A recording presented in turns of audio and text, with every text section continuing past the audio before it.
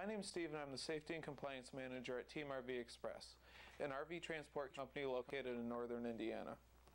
We transport RVs from the various manufacturers in our area to dealerships all across North America. The allure of transporting RVs with your own personal pickup truck attracts many drivers to the industry.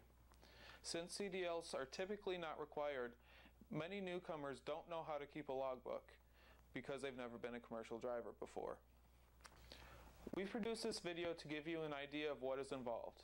It is not intended to be everything you've ever needed to know about logging, but it is intended to give you enough information to keep you from being put out of service by the DOT.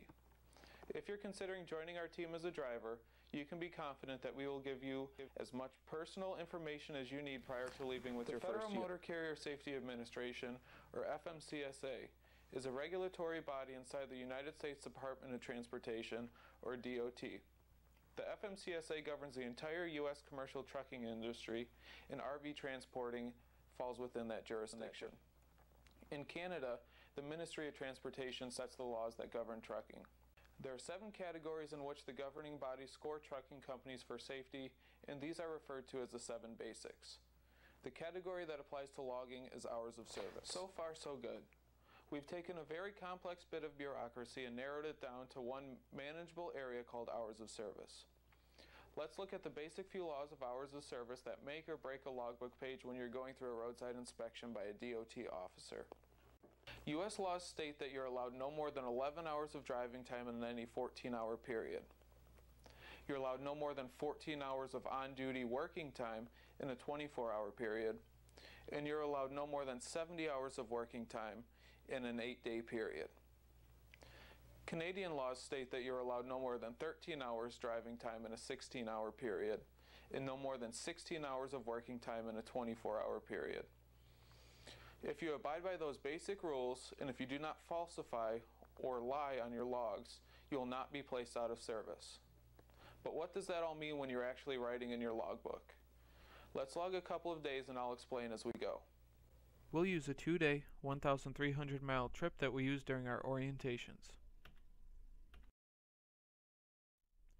You'll notice that our company name, as well as main office address and home terminal address are pre-printed on our logs. Because we're based in Middlebury, Indiana, all of our drivers must always log Eastern Standard Time, no matter what time zone they're in at any specific time. First, let's look at our graph. The first grid is off duty. That's just what you'd think. Time spent not working is off duty. Next is sleeper berth time.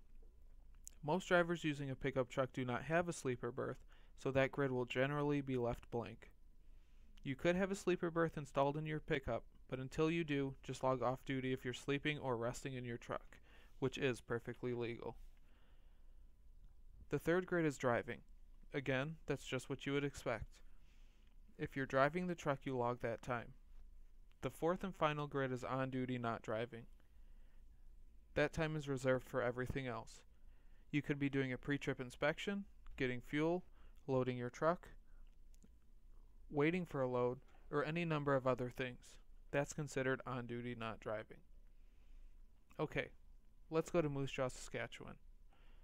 The first thing you'll want to do is insert your date on your log.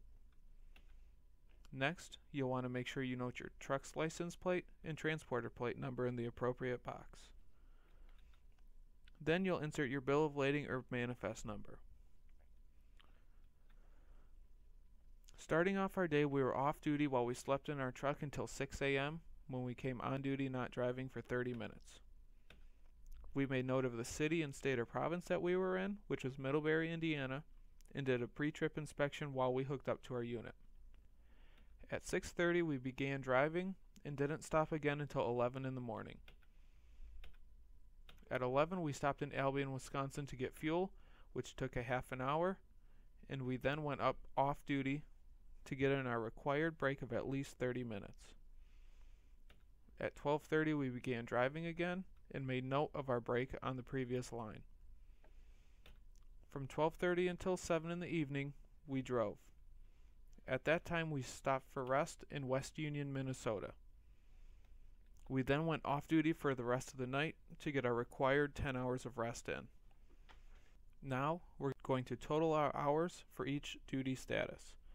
Our off duty time we spent from midnight until 6 a.m., so 6 hours there, plus 1 hour for our break puts us at 7. And then we have 8, 9, 10, 11, 12 hours spent off duty. So we make note of that in the total hours line. We don't have anything in the sleeper berth as we don't have a sleeper berth installed in our pickup truck. Next is driving time. From 6.30 to 7 is 30 minutes, or half an hour, plus 1, 2, 3, 4, so that's 4 and a half hours driving. Another half puts us at 5, 6, 7, 8, 9, 10, and 11 hours. So we make note of that as well.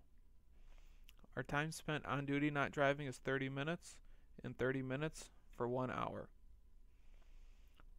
Our hours must total up to 24 as there are 24 hours in each day. So 12 plus 11 is 23, plus 1 is 24. We then note the amount of miles that we drove for the day and insert our signature to make the log a legal document. The next day starts out the same with the date, truck's license plate and transporter plate number, and bill of lading number listed. We were off duty until 6 in the morning when we came on duty not driving for 15 minutes in West Union, Minnesota while we performed our pre-trip inspection. At 6:15 we began driving and stopped at 9 in the morning in Valley City, North Dakota to go through the scales. That took 30 minutes before we began driving again. We drove until 1 in the afternoon when we took our required off-duty break of at least 30 minutes in Velva, North Dakota.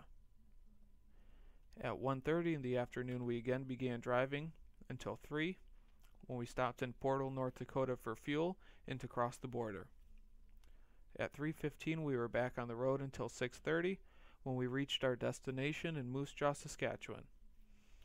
Delivery took 30 minutes, so at 7 in the evening we went off duty for the rest of the night before we headed back home. Now we total up our hours again, make sure they equal 24, insert our mileage for the day, and finally, our signature. If you find yourself pulled in for a DOT inspection, stay calm. Team RV pays you for passing inspections with no violations. Comply with the officer's requests and give us a call as soon as it's over as we will need a copy of the paperwork that you receive. If you're put out of service, don't panic. Call the safety department and let us know. We'll need any and all information pertaining to the stop and the violations you received. Serve your mandatory time off and get back on the road as soon as you can. Anytime that you feel you need more information or a refresher course, you can call, email, or stop in the office for as much assistance as you need.